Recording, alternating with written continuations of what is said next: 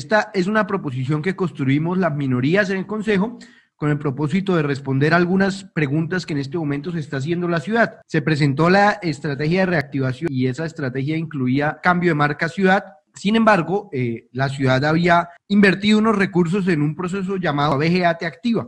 Estamos frente a una, eh, digamos, modalidad diferente, algo que podría indicar un detrimento patrimonial. Hay una preocupación enorme y el señor todo sale a vanguardia a decir que esto no le costó nada a la ciudad. Jamás un desarrollo de marca no cuesta nada y esto me lleva a sentir que no tenemos una estructura de costos diseñada y determinada acorde con la realidad de un costo cualquiera, directo o indirecto. ¿Se ven ustedes que hay más de 35 rompetráficos en todo Bucaramanga con la marca BGAT Activa?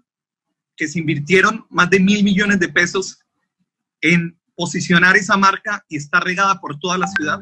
La pregunta es quién va a responder por esa inversión. No podemos permitir que marcas de ciudad aparezcan del aire sin una identidad, sin una apropiación de la misma ciudadanía de dicha marca ciudad. En estos momentos, nosotros hemos estado activos a esta reactivación, pero el problema es que hacen un cambio de marca donde se quiere mostrar a la ciudad que no tiene ningún costo y que no tiene ninguna afectación al mismo recurso de la administración y por ende de la ciudad para poder hacer este cambio.